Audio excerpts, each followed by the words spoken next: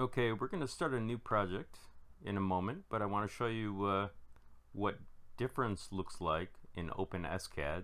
What I've done is I've created a cylinder hole for a M3 and also a hex nut countersink in the actual object.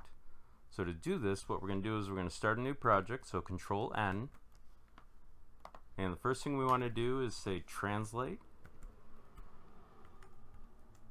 open and close paren, open and close bracket. We want to say negative 5 in the Cartesian coordinate plane, negative 5 for y, and then we're going to say 0. So negative 5 comma, negative 5 comma, 0. No semicolon. Then we're going to say we're going to have a cube, open and close paren, open and close brackets. Then we're going to say it's 10 by 10 by 5 and then semicolon. So there's our cube. Now in order to subtract from the cube we have to do difference.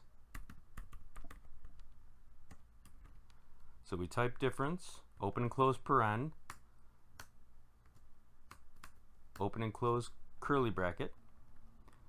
Then we're going to copy this out and paste it into here.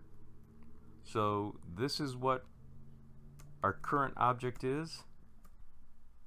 And so we want to subtract from it. So what we're going to say is cylinder,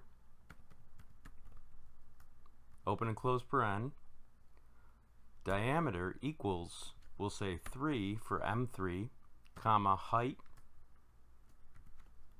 which is h equals, in this case it's 5 high, so we'll add a semicolon, so this will subtract from the object. So all we have to do is render it, and we have a hole. Now this is a pentagon in hole shape, so what we need to do is add a number of facets. So we're going to say dollar sign FN equals, and we'll say 30 so we can make it more round. So now it's round. So now we want to actually put a hex nut inside it. So we have to say translate,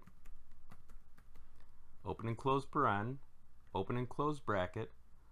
Then we're going to say that it's 0, comma 0 for x and y, comma, and we're going to say that it's 3 high for this case.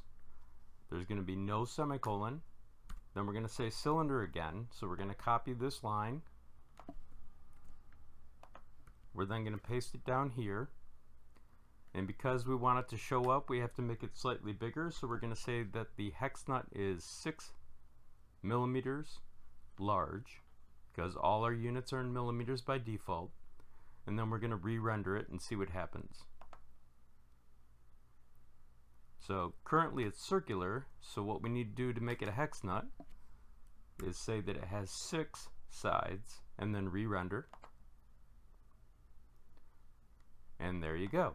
So if you like my video, please press the like button and subscribe, and thank you for your time.